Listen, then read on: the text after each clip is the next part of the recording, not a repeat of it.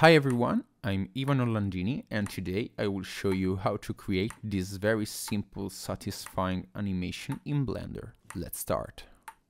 So the first thing we're gonna need is to create all the structure that we will need for the animation. So let's start by deleting our default cube. Then we're gonna need to create a circle. After that, we're gonna need to go to edit mode. We're gonna delete all these vertices. Then we're gonna need to move our vertices like this. Then we're gonna need to select these two vertices and extrude it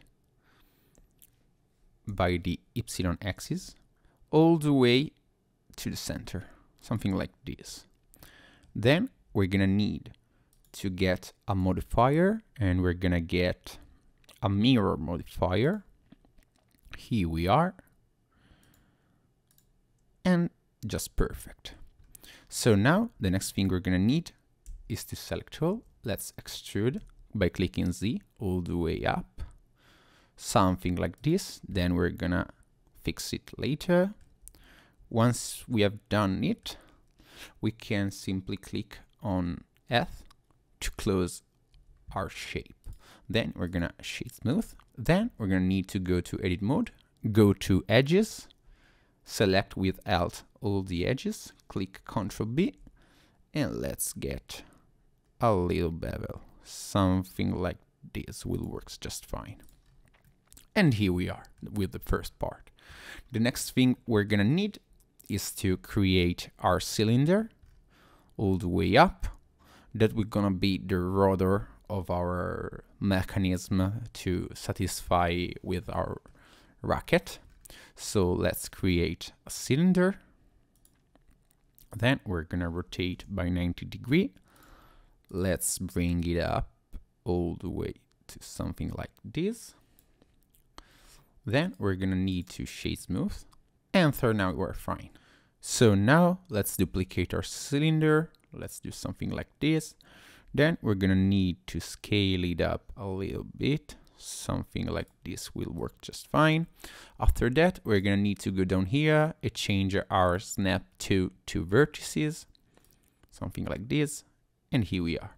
The next thing we're gonna need is to bring it all the way to the rotor. Something like this.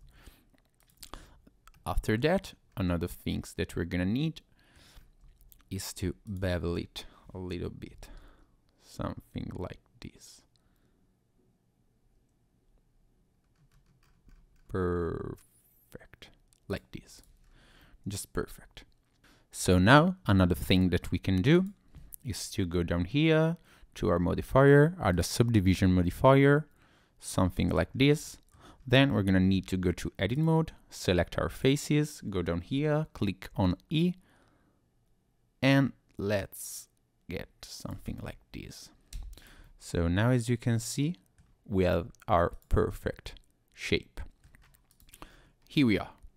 Okay, so now we're gonna need to duplicate another time this cylinder. Let's bring it down here. Let's now scale it down to something like this. And this is gonna be our stick of the rotor. Now let's go down here, let's select this face and let's extrude it out to something like this. Then we're gonna fix it later. Here we are. So now that we are here, another things that we can do is to duplicate another timer cylinder to something like this. And we're gonna need to scale it down a little bit to something like this. Just perfect.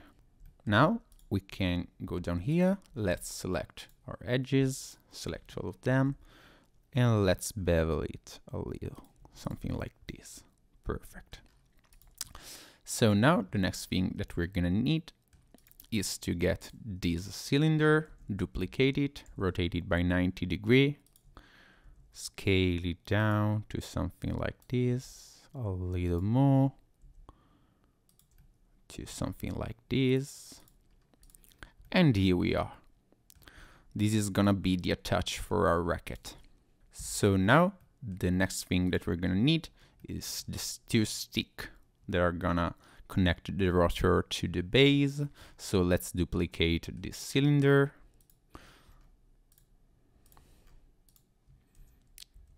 Rotate it by 90 degree. Then we're gonna need to fix it to the center, something like this. And then we're gonna need to extrude it up all the way to the rotor, something like this. So now let's bring a little to the left. Then we're gonna go to the modifier. Let's bring our mirror modifier. Let's select our mirror object, something like this. And let's change our axis to epsilon. And here we are. We can drag it a little to center, something like this. And let's now get a little smaller our base, something like this. Perfect. We can even delete our default point light uh, and let's hide our camera. So now we need to import our ping pong racket.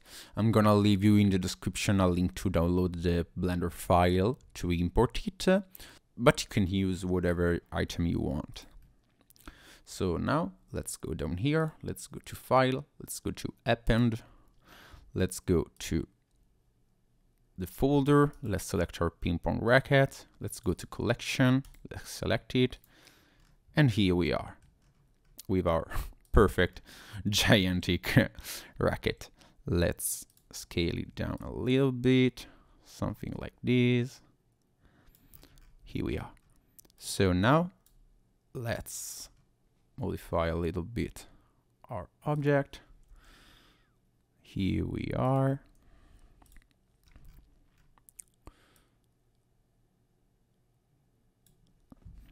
Okay, just fine. As you can see now our racket touches the our cylinder. So let's bring everything out a little bit. Something like this. Okay let's now select this and extrude it all the way in. And here we are so now the next thing that we're to need is to create our ball. Let's select a sphere, a UV sphere. Here we are. Let's bring it all the way up. Let's align it to this part. Let's do it a little smaller. Something like this works just fine. And here we are. Just perfect. So now we're to need to create a little background plane. So let's create a plane. Let's extrude it. Then we're to need to select this edge. Click on E to extrude. Go all the way up. Something like this. Then we're to need to bevel it a little bit. Something like this. And here we are. If you want, you can even scale to the epsilon a little bit, something like this. And here we are. Okay, so now we're gonna need to create the path that the ball will follow to simulate the bouncing of the ball. So let's bring in a path that we're gonna need to rotate by 90 degree to something like this. Then we're gonna need to move it to the sphere. The next thing that we're gonna need is to grab our points. And we're gonna need to get some curves that we're gonna like. But we can easily modify it uh, once we have the animation done. So we can do it even later. For now I think that works just fine so now let's bring it all the way to the sphere to something like this. Here we are. So the next thing that we're gonna need is to get our sphere to follow this curve. So let's go down here to object constraints. Let's add a follow path. Okay, so now we're gonna need to target our path. After that, we need to move our sphere all the way to our path, something like this, something like this. Perfect. And as you can see now, with our offset, we can get our sphere moving to the curve. Let's now fix position. So now that we can do from 0 to 1. And here we are. So now let's get a little higher our sphere, something like this. And here we are with our perfect sphere.